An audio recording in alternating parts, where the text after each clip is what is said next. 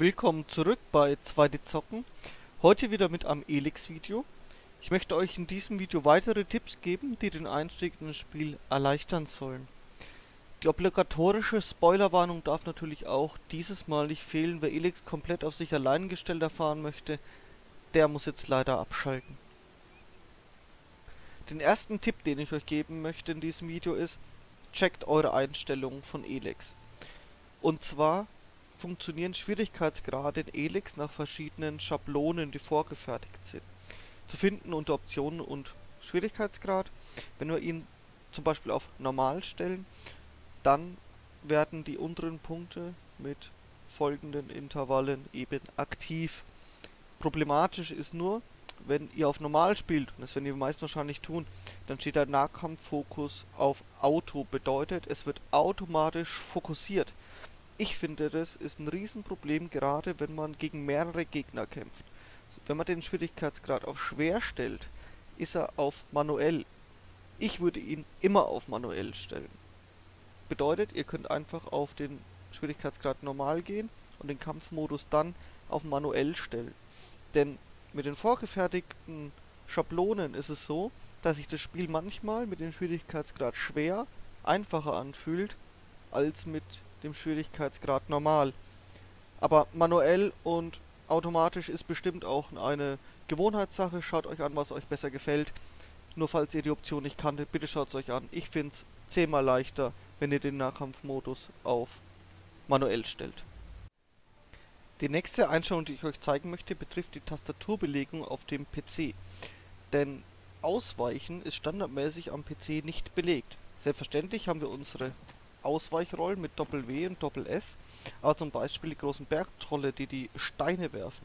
Denen können wir mit der Rolle leider nicht entkommen, die werden einen eigentlich immer treffen. Ausweichen schaut am PC dann so aus. Mit diesem kleinen Ausweichschritt können wir auch den großen Steinbrocken entkommen, die die Unholde schmeißen. Zu finden ist die Option unter Optionen, Tastatur und Maus, Tastenbelegung und hierbei ausweichen. Ich habe es mir auf Steuerung links gesetzt. Wie gesagt, standardmäßig ist das hier nicht zugewiesen. Ganz wichtig, schaut euch an und belegt euch die Taste so, wie ihr es für am geschicktesten haltet. Der zweite Themenbereich, den ich in diesem Video behandeln möchte, dreht sich um Attribute und Fähigkeiten. Wir schauen uns kurz das Attributsmenü an und hier ist der Infotext zu Stärke als exemplarisches Beispiel, sie erhöht deinen Nahkampfschaden. Das suggeriert dem Spieler, wenn ich den Punkt auf Stärke ausgebe, dann schlage ich auch stärker zu und der Gegner verliert mehr Leben pro Schlag. Das ist aber gelogen. Die ganzen Attribute haben keinerlei Auswirkung auf den Charakter und sind nur dafür da, um Fähigkeiten lernen zu können zum Beispiel. Die haben auch Attributspunkte, äh, die benötigt werden, damit man die lernen kann. Oder eben für Waffen, damit man sie anziehen kann.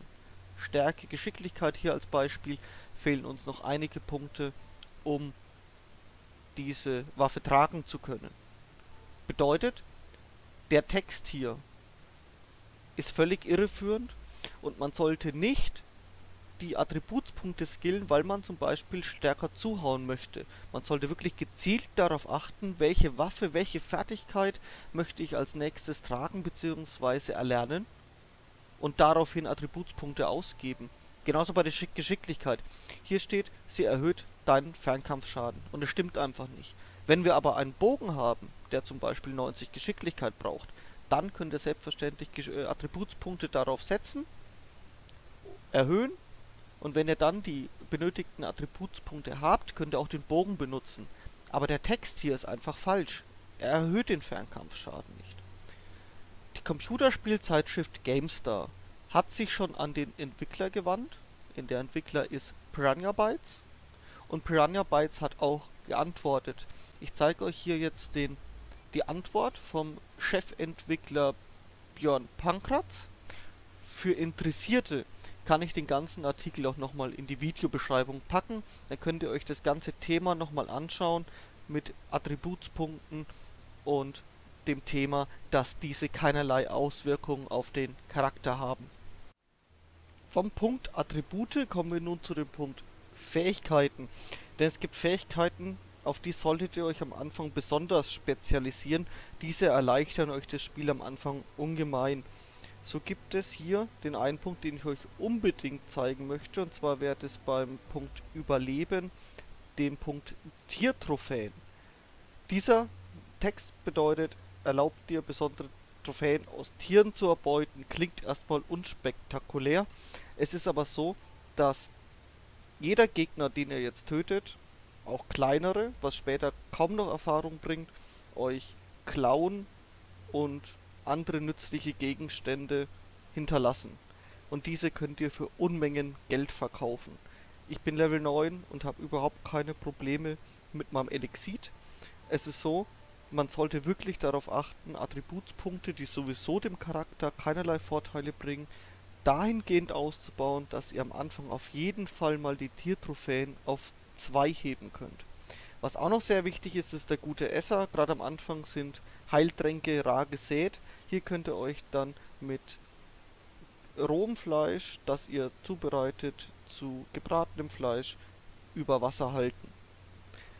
Was ich auch noch sehr wichtig finde, sind die extra Hitpoints und die Ausdauer. Man hält einfach ein bisschen mehr aus und man kann auch dauerhaft die Ausdauer steigern, damit man mehr ausweichen kann und auch mehr Schläge am Stück dem Gegner zuführen kann, so einfacher seine Komboleiste füllt und auch große Schläge einfacher aneinander reihen kann. Alle Tipps, die ich in diesem Video gegeben habe, beziehen sich auf die Spieleversion 1.0.2846.0. Der Patch ist am 27.10. erschienen, das sage ich nur dazu, weil vielleicht ist ja seitdem schon wieder ein Patch rausgekommen, gerade was die ungünstige Formulierung der Attributspunkte betrifft.